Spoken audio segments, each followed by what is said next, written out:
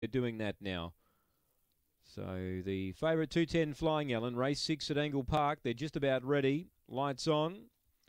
$5 One Chai Express. So a good late move here for the red. They're ready, set, racing.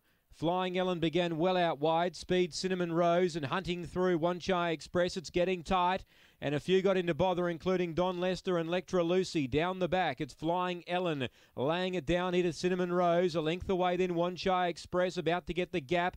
Three links to Hayride Rowan, Data Queen, Lectra Lucy, Don Lester, and Kansas Lane is last. Up front, still a battle. Flying Ellen gets the better now of Cinnamon Rose. Then One Chai Express, late starter Queen in front though. It's Flying Ellen.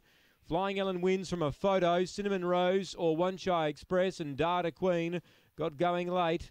Uh, then came Don Lester who got into bother. Kansas Lane, Hayride Rowan, Lectra Lucy back with them.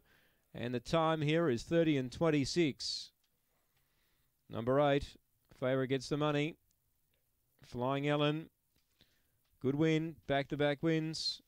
Gets the money, gets the job done. Eight the winner, two second. Cinnamon Rose just gripping on in front of One Chai Express. And four Data Queen gets fourth, and number seven Lectra Lucy gets home into fifth placing. Eight, two, one, and four. Eight, two, one, four. Four forty-eight early. Thirteen, nineteen on the way home. Thirty and twenty-six to time. Thirty and twenty-six for Flying Ellen. It's a length and a quarter by half a head. A length and a quarter by half a head there on 8 2 1 and 4 flying ellen. Back to back wins now starting to get some of that confidence back up again